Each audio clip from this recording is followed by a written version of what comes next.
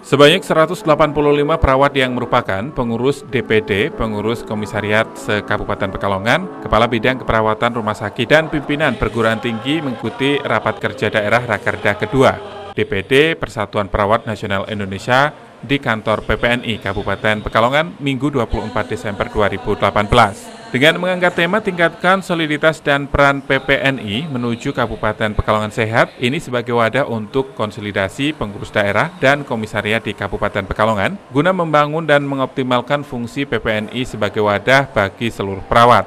Segala persiapan sudah dilakukan untuk mensukseskan rapat kerja daerah kedua ini, seperti yang disampaikan Ketua Panitia Kegiatan Iman Subakti.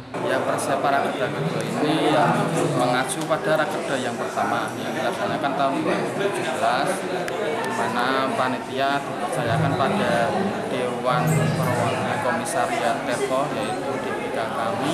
Kami sudah mempersiapkan kurang lebih satu setengah bulan yang lalu. Sudah kami persiapkan untuk rapat-rapat rakerda dua kali terus membuat susunan kepanitiaan penanggung jawaban sampai dengan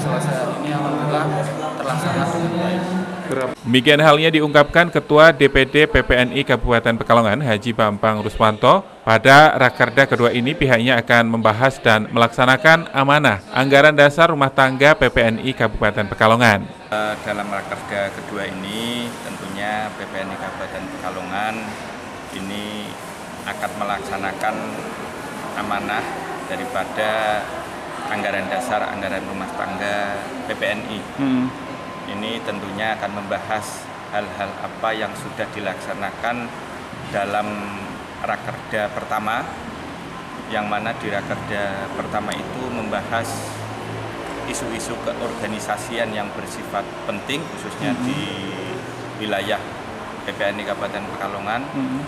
Jadi yang belum dilaksanakan kaitan dengan Eh, program-program yang menyangkut keanggotaan ini tentunya nanti akan dibahas di Rakerda kedua ini.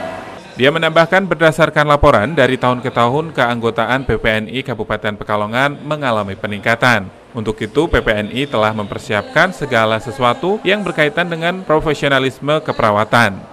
Rakerda kali ini sambungnya diharapkan menjadi wadah perencanaan program kerja untuk merealisasikan aspirasi seluruh komponen perawat untuk masa waktu lima tahun ke depan.